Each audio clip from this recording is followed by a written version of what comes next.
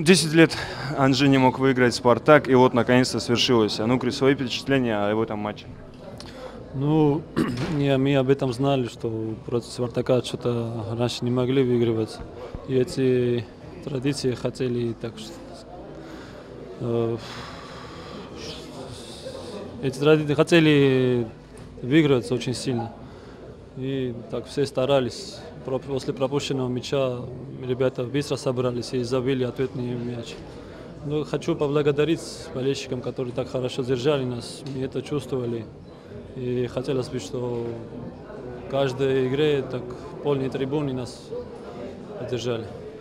Ну вот, судя по погоде, было видно то, что ты, можно сказать, не фиксировал мячи, а просто переводил их. Это сказывалось то, что мяч скользкий или что? Да, не, не, погода ни при чем. Погода для одинаковая для всех. Просто бывает, все ошибаемся. Это жизнь.